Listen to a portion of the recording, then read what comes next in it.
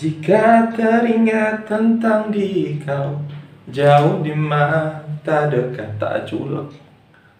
Berjumpa kembali Tentunya dengan siapa? Kalau bukan Zona Bahasa Yang masih didukung oleh Smart ILC Pare Kediri, Jawa Timur Dan masih berjumpa dengan saya. Siapa lagi kalau bukan? Ah, ah, Ale, Ale, Ale, Ale, Jandro Oke saudara-saudara semuanya setelah kemarin kita belajar tentang pembentukan kalimat negatif, interrogatif gitu kan? Udah contoh juga jenggan sudah terus no correct sudah error sudah. Nah ini sekarang kita punya variasi nih. Apa variasinya? Namanya adalah contraction atau penggabungan. Apa yang digabung? Memang power kan di sini yang kita gabungkan yaitu adalah antara verb auxiliary dengan not. Nah, kan biasanya kita meletakkan not setelah auxiliary-nya kan is not, will not. Nah, ternyata antara will, antara auxiliary, will dan teman-temannya auxiliary semua dengan notnya itu dia bisa kita gabungkan dengan notnya. Bisa kita contraction gitu. Hanya saja memang walaupun nanti kita contraction, gitu ya harus dipahami bahwa contraction dalam bahasa mana pun seingat saya dan setahu saya biasanya penggabungan itu dia sifatnya informal gitu ya. Jadi boleh digabung teman dia sifatnya informal. Jadi bagus. Lagi kalau teman-teman maunya formal ya bagus kalau dia dipisah. Tulisannya tetap dipisahkan. Cuman di sini istilahnya boleh. Nah kita belajar tentang di sini penggabungannya jadinya seperti apa. Nah untuk auxiliary kita kumpulkan di sini. Semua auxiliary-nya berarti ada keluarganya B ada is MR was were gitu ya. Ada keluarganya have have has had lengkap. Keluarganya do do does did sama modal ada will shall would sama should.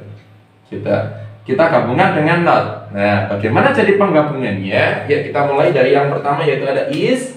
Kalau kita hubungkan dengan not maka dia menjadi oke okay, dia menjadi isn't. Nah jadi notnya digantikan dengan tanda apostrof kemudian digabungkan tulisannya isn't. Kemudian kalau are berarti menjadi oke okay, menjadi aren't Nah, gitu ya. Kalau M berarti menjadi uh, uh, menjadi emment.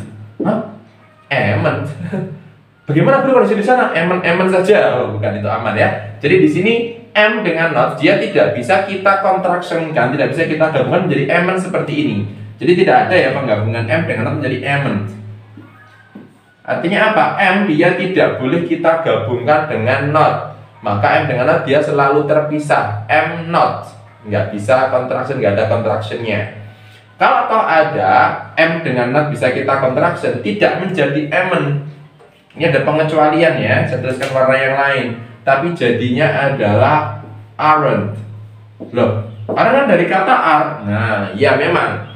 M dia bisa menjadi aren't boleh jadi aren't itu pun hanya dalam satu kondisi. Di mana? Yaitu ketika teman-teman belajar tentang tentang apa tentang apa tentang question tag hanya ada di dalam question tag saja. Nah, jadi A bisa menjadi aren't. Kalau dalam kalimat question biasa tidak boleh ya menjadi aren't. Jadi kalau misalnya I am not a teacher, tidak boleh menjadi I aren't a teacher, tidak boleh. Oke. Okay. Kemudian kita ke was. Kalau digabungkan dengan not, maka menjadi oke okay, menjadi wasn't. Nah, Kemudian kalau were menjadi oke okay, menjadi weren't. Oke. Okay. Kemudian kalau have uh, menjadi haven't. Lagu dangdut itu haven't, haven't nonton.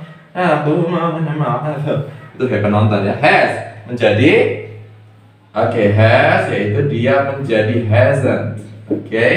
Kalau had berarti menjadi hadn't. Nah, gitu. Kemudian kalau do menjadi oke okay, menjadi don't. Kalau does berarti menjadi oke okay, menjadi doesn't. Terus kemudian kalau did berarti menjadi oke okay, menjadi didn't. Kemudian kalau will berarti menjadi willn't. Kalau shall berarti menjadi shalln't. Dan kalau would berarti menjadi wouldn't. Kalau should berarti menjadi Oke, shouldn't. Cek, cek, cek, cek, kok ada yang aneh ya? Kok villain? Apa itu villain? Nah, jadi di sini kalau will dengan not kalau kita gabungkan dia bukan menjadi villain. Shall juga begitu bukan silent. Sama itu jadi silent please begitu ya. Bukan ya. Jadi bukan villain ataupun silent. Jadi tidak ada contraction will menjadi villain atau shall dengan menjadi silent. Jadi kalau will dengan not kalau kita contraction nanti dia menjadi mood.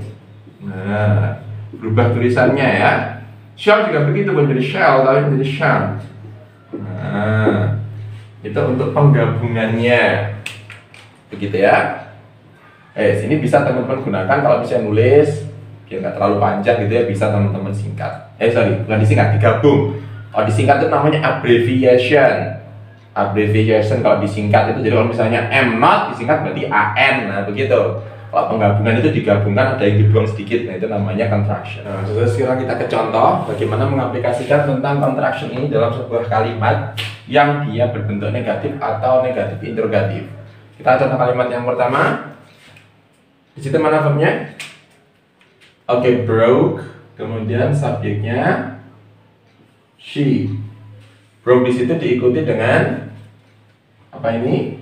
Okay, sebagai objek. Karena objeknya cuma satu, berarti karakternya oke MV. Karena MV berarti ini sebagai DO berupa rangkaian apa? Oke, dia berupa rangkaian non phrase. Nah, dia akan kita ubah menjadi bentuk negatif. Nah, harus tahu dulu. Tensesnya apa ini? Broke. Bentuk apa ini broke? Oke, bentuk PT. Berarti tensesnya adalah Oke, tensesnya adalah simple past. Sekarang kita ubah ke bentuk yang negatif. Awas, jangan lupa kalau dia simple past, negatif, perhatikan dulu apakah dia verbal atau non verbal. Kebetulan di situ ada kata broke, yaitu berasal dari kata break. Oke, okay? jadi bentuk PT dari break. Sorry, hmm, break. Karena dia ada bentuk PT dari break, berarti keluarganya B bukan? Karena bukan, berarti ini namanya adalah kalimat yang verbal. Karena verbal, ketika negatif maka harus kita datangkan keluarganya. Oke, keluarganya do, simple past yaitu yang Oke, yang did. Nah, berarti jadinya kalau jadikan negatif she okay did not berikan bentuk B break the glass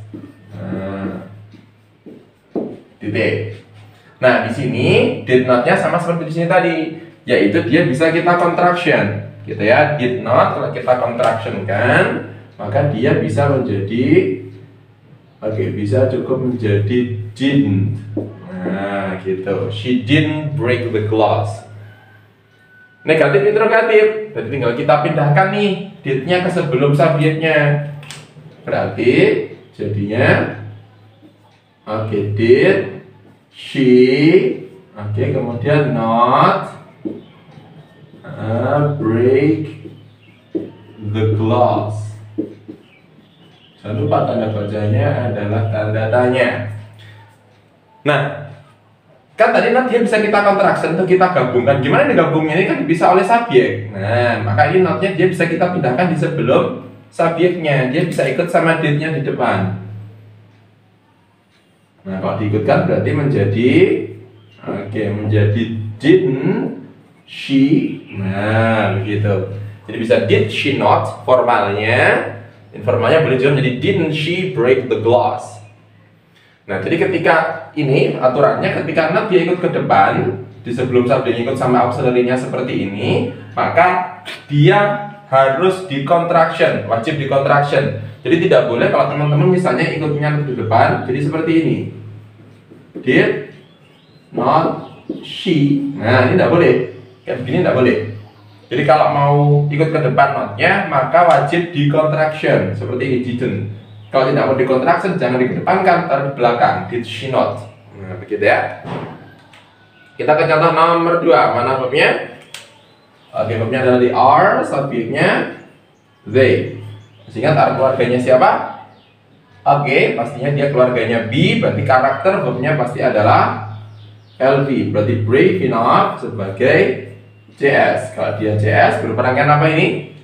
Intinya di brave berarti Oke, rangkaiannya adalah adjective phrase. kita ubah tensesnya berarti yang kita perhatikan adalah R nah keluarganya siapa ini keluarganya B R bentuk AI berarti tensesnya adalah simple present. Karena dia keluarganya B berarti simple present yang non verbal nah maka tidak perlu kita datangkan keluarganya do langsung saja negatif kita letakkan notnya di setelah R-nya. Berarti menjadi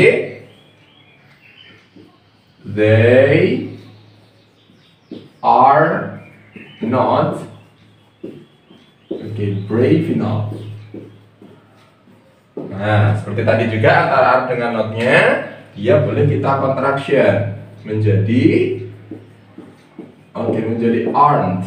Kita kita buat menjadi negatif interrogatif tinggal kita pindah R-nya di sebelum subjeknya menjadi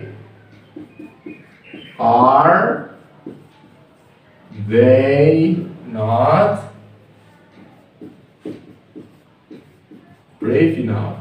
Nah gitu terus kemudian sama notnya bisa kita contraction juga menjadi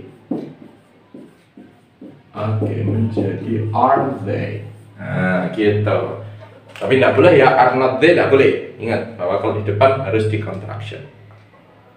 Begitu untuk penggunaan contraction dalam kalimat. Jadi teman-teman boleh mengkontraksi dengan cara seperti itu ya. Oke, untuk materinya kali ini cukup sederhana, simpel-simpel saja ya. Cuma membuatnya menjadi contraction. Silakan teman-teman kalau misalnya membuat kalimat, oh ada absolute ketemu dengan not nih, nah coba di contraction. Boleh seperti itu. Kalau ingin tahu lagi materi kita, Habis ini ada apa lagi masih penasaran? Terus saja stay tune. Di mana kalau bukan di sini? Oke, okay. dan sampai jumpa di video kita berikutnya, materi kita berikutnya. Kalau bukan di bahasa dan pastinya masih dengan Smart ILC.